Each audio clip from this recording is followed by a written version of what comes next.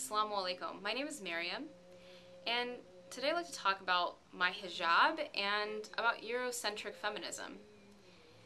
Today I've noticed, even as a feminist in this movement, that there's a conflict between my perspective and maybe some other people because the hijab is seen as an oppressive thing towards women, but my personal idea is that it's more oppressive to feel that I need to show off my body.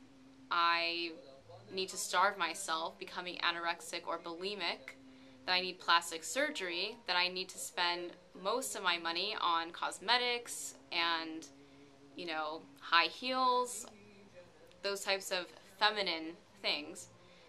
And I've also noticed that there's a lot of ignorance about the religion of Islam and women's role in Islam. I think it's essential that there's a dialogue between Muslim women and maybe non-Muslim women about these issues. It's important to have diversity. It's important to educate ourselves on properly understanding this. We are we're women. We should unite. We as women struggle with many things just because we are women.